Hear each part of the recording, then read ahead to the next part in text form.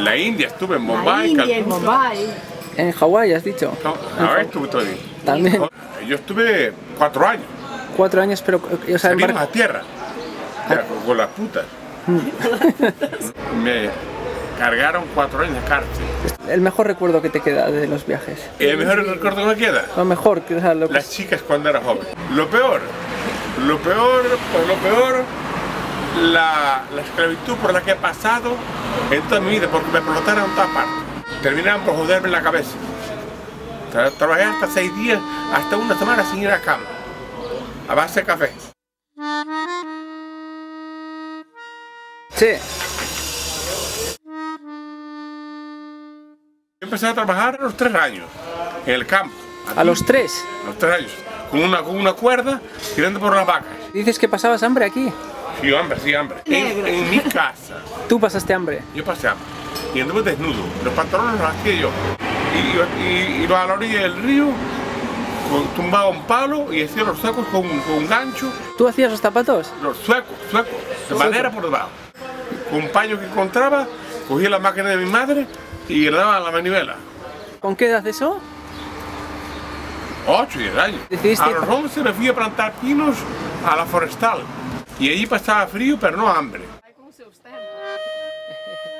Y a los 12 me fui a trabajar de peón de albañil a Santiago. Ya aprendiste. eh, y aprendí. Y después ya hice casas como esa, que está ahí, o como esa, yo solo. Después marché a Bilbao. Embarqué en un transatlántico que fui a cogerlo a Newcastle, en Inglaterra, yo solo. Allí me fui a la discoteca, encontré una novia. La metí en el camarote, ¿Estaba embarazada ella? estaba, ¿Por pero ti? de mí. Ah. Estaba- ella estaba embarazada, era una joven. Tendría 20 años, tendría más no tenía. La metí en el armario del camarote y la llevé hasta Nueva York. ¿En el, Y en el Nueva York barco? inmigración vino y la pescó y me expulsaron del barco. De vuelta a Bilbao.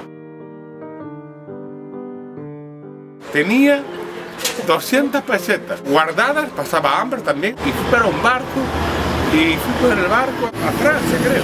Allí aprendí náutica. Yo estuve cuatro años. Cuatro años, pero. O sea, Salimos barco. a tierra. Ya, con, con las putas. Pero yo conseguía, sin dinero, yo para, para no, por no pagar, yo conquistaba a, la- a las chicas por la calle. Y, y- e iban conmigo. Las llevaba a la playa y, y allí pasaba toda la noche. De ahí al ejército. fala dos malandros. Al ejército. Al ejército. Estuve en la frontera de Francia y, y rompía los dientes. ¿En serio? ¿Quién daba hostias? Oficial. No jodas.